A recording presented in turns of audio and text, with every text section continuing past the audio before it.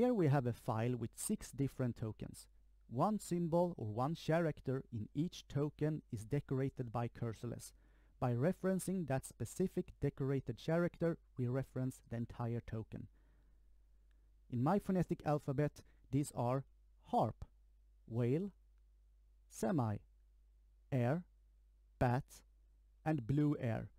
The reason for the last A having a color is because we can't otherwise distinguish them.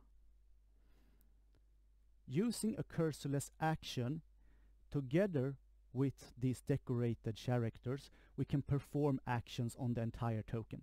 I'm now going to show you the action take, which sets selection. Talon wake. Take harp. Take whale. Take semi. Take air. Take bat. Take blue air. Drowse.